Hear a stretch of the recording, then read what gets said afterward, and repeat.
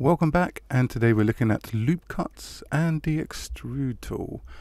Um, so let's go straight into this and create a cube. So don't forget the shortcut key for uh, object is shift A and then we go into mesh and create a cube. Okay so why loop cut? Well okay with this object here you've got what four six faces. So what if you wanted to create let's create a table okay? So how we're going to create a table out of this? We need more faces we need more edges we need more vertices. So that's where the loop cut comes into it. So what we're going to do is we're going to give this a tabletop look. Um, so we're going to go and scale this down to make it look like a table top. There we go, look, something like that. Let's make it a little bit thinner. Um, okay, so how do we make the legs? So what we'll do is we'll do a control R, um, which will give us the loop cut tool. Um, obviously we can go over here. Um, let me just come out of that. So this is the loop cut tool. As you can see just there it says shortcut spacebar control R. Um, so this is what we're going to do. We're going to do control R. Come down to the edge where you want the cut to happen. So we want to go on a, a, vertical up and down like that. Um, and you can use your mou mouse scroll button, so the middle button there, and you can add in What's going on? So we can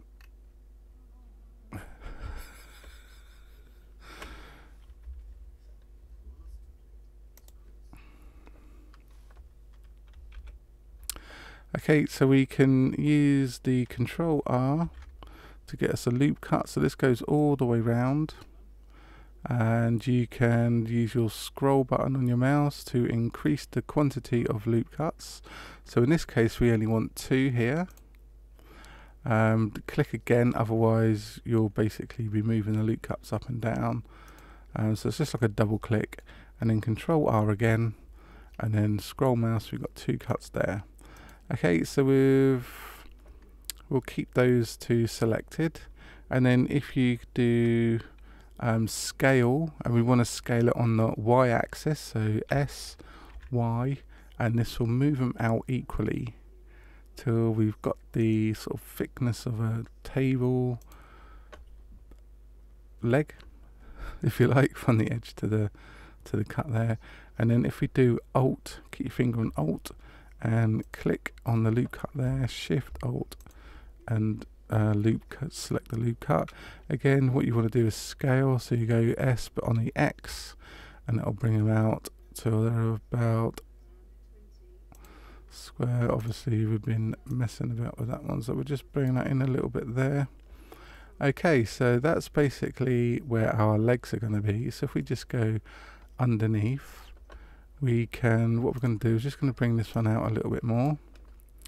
So we're going to hit number three key, key uh, number three. So that will take us into the face select. So you've got face select edge select and vertex uh, we want the face select and then we're going to select one face. Shift click again shift click again shift click again. And then now we're going to use the extrude tool. The extrude, extrude tool on the toolbar is just here on the left extrude region. And the shortcut key is E. And what we want to do now is E. And then we just want to bring it down. So we've got the four legs on our little table but wait a minute, what if you want a table where the legs are tapered in? That's easy. What we need to do is just go into um, scale. But if we go into scale, it's going to bring them all in. And we don't want that. Um, so what we do is we go into the transform pivot point, which is up here in the in the menu bar at the top here. Select that, and then we want individual origins.